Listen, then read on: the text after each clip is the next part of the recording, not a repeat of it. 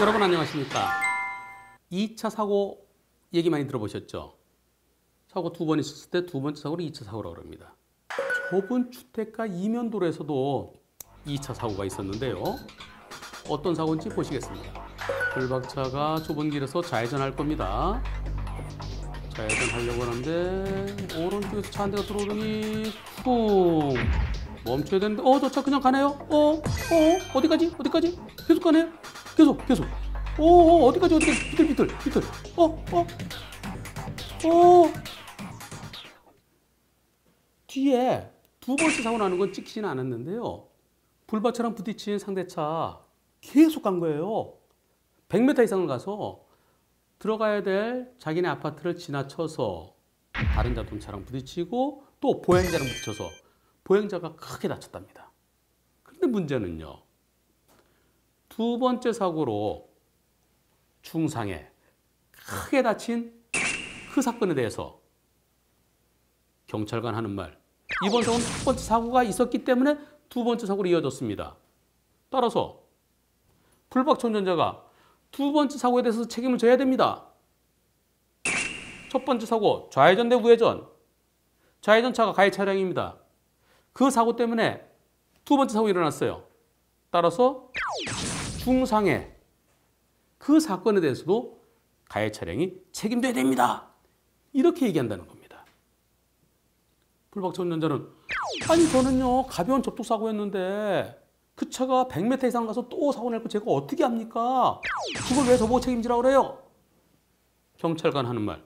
저도요, 좀 고민이 돼서 우리 경찰서 교통사고 조사하는 경찰관들하고 같이 상의를 해봤는데 모두 다 불박차가 2차 사고에 대해서 책임을 져야 된답니다. 사고가 안 났으면 상대편이 당황 안 했을 거고 당황 안 했으면 그 차가 그렇게 계속 엑셀레이터 안 밟았을 거고 그럼 사고 안 났을 거 아니에요. 2차 사고 안 났을 거 아니에요. 따라 불박차가 모두 다 책임져야 됩니다. 이렇게 얘기한다는데요. 과연 이번 사고 첫 번째 사고 좌회전 대 우회전 누가 더 많이 잘못한 걸까요? 불박차는 브레이크 잡는데 상대차는 브레이크도 못 잡고 치고 나갔어요. 1차 사고는 과연 몇 대 몇일까요? 그리고 가벼운 접촉사고 후 100m 이상을 가서 2차 사고가 일어났는데요. 2차 사고에 대해서 불박차가 책임을 져야 될까요? 첫 번째 사고의 과실 비율을 살펴보겠습니다. 첫 번째 사고, 불박차는 여기서 천천히 좌회전에 들어갈 거죠. 좌회전에 들어가는데 상대차가 이때 보입니다. 영상에는 여기 있는 것처럼 보이죠. 하지만 불박차 위치는 여기보다 2 내지 3m 뒤쪽에 있습니다. 왜냐하면 블랙박스 렌즈가 앞을 비칠 때 본네트에 가려서 요 앞에 안 보이는 부분이 있어요. 사각지대, 사각거리. 그게 대체로 승용차들은 약 한 3m 가까이 됩니다.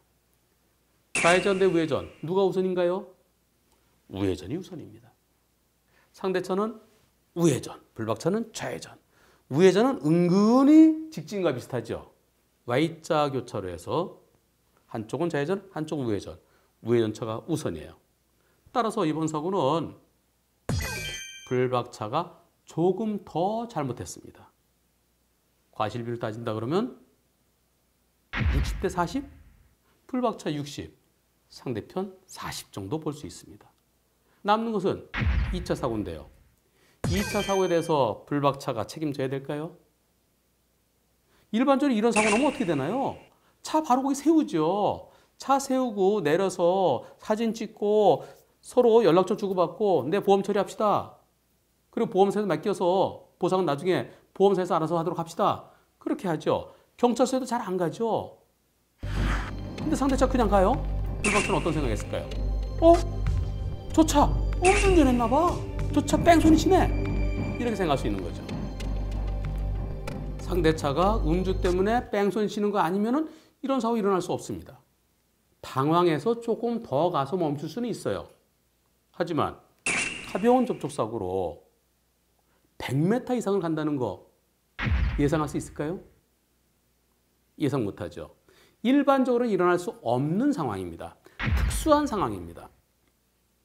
특수한 상황에 대해서는 책임이 없어요.